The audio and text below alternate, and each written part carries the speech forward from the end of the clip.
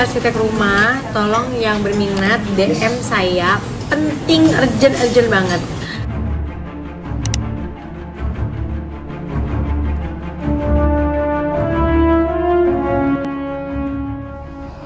Raul murka masa lalu dibongkar Aslil dan Aurel. Asanti langsung bersindiran menohok begini. Hubungan Aurel Aslil Hermansa dengan KD dan sang suami Raul Lemos kabarnya sedang renggang. Asanti agaknya berusaha membela anak sambungnya. Suami Krisdayanti Raul Lemos belum lama ini berkuar-kuar di media sosial hal tersebut berawal saat Aurel Hermansa meminta izin kepada KD untuk berkunjung ke rumahnya di momen Hari Raya Idul Fitri. Namun pesannya tak kunjung dibalas oleh sang bunda. Raul pun menyindir sang putri tiri yang terkesan mencari simpati publik melalui media sosial namun membuatnya dicibir sebagai mulut lemas. Pria asal Timur Leste tersebut pun menyindir orang tua yang gagal karena tak mampu mendidik anak-anaknya agar berlaku sopan. Seolah menintir sikap Aurel meski tak menyebutkan nama sindiran Raul tersebut membuat Asril Hermansa menuliskan pembelaan untuk keluarganya. Selain itu Asril juga mengucapkan rasa sayang terhadap sang ayah Anang Hermansa dan ibu sambungnya Asanti. Tak menyebut Kade.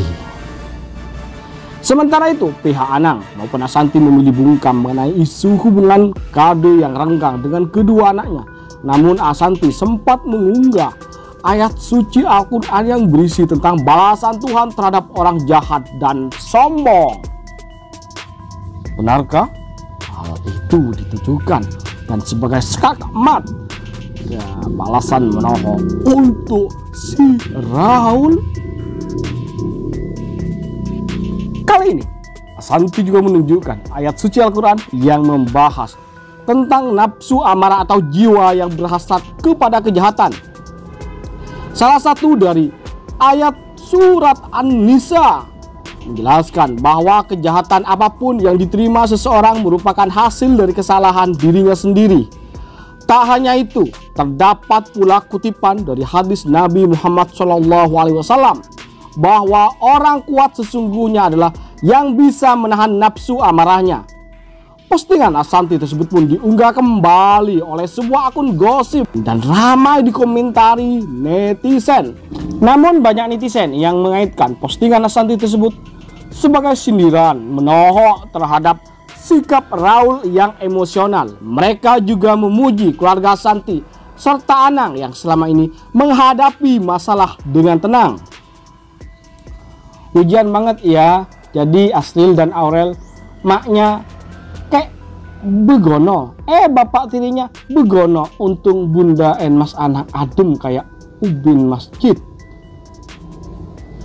Kelihatan siapa yang lebih dewasa dan bijak sebagai orang tua. Nggak kayak si mulut lemes maunya ngamuk aja ke keluarga Bunda Asanti mah adem dan bijaksana ujar yang lainnya lagi guys.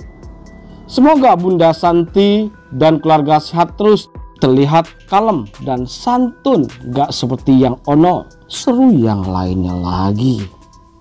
Itulah guys dukungan netter dan jawaban menohok sindiran menohok yang diberikan oleh Asanti pada seseorang yang diduga itu adalah Raul Lemos.